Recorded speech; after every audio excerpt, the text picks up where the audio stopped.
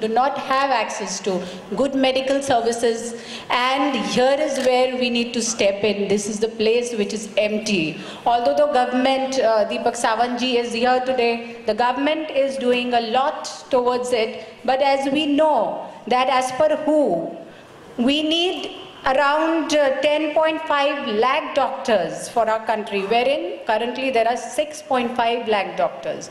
Dearth in the number of doctors, so six doctors taking care of 10,000 people, while the norm should be uh, one doctor per thousand people. So for this also the government is taking quite a few steps. Healthcare sector is giving a lot of incentives, a lot of jobs to people. Last year it gave 3 lakh 3,613 jobs. And now this year it is given in 2017 3 lakh 19,780 jobs. So work is being done from the government side, but the deficit between the need and the supply is huge. And when MedScape and um, NGOs like the, these step in, it is a really, really helping, required helping hand which you all are providing. So I again uh, thank Dr. Dr. Dubey especially and the whole Dubey family for being a part of this Develop India campaign, especially Save the Girl India campaign, which is the brainchild of Narendra Modi ji himself, who is promoting it left, right, and center. And you have joined this campaign. It is great. And I thank um, MedScape again, which has touched all the spheres from medical to paramedical, from protecting rights of the medical students to other uh, research and development activities.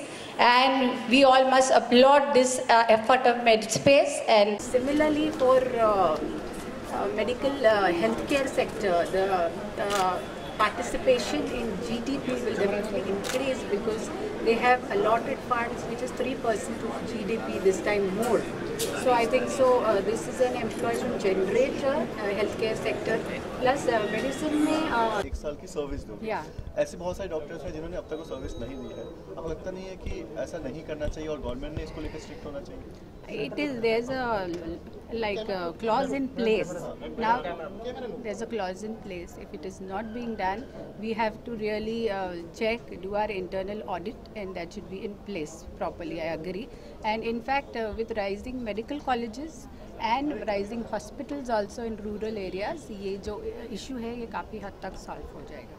Madam जी आपकी जो सरकार है क्या गरीब जनता तक फूल तक पहुंच पा रही है sectors. So that will help in uh, increasing their access to these villages and the availability of the technology with, uh, which helps to diagnose in a proper manner and timely manner. हाँ, ma'am जो doctor